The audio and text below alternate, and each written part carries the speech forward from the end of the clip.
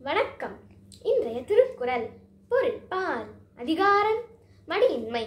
குறள் எண் அறுநூற்று ஒன்பது.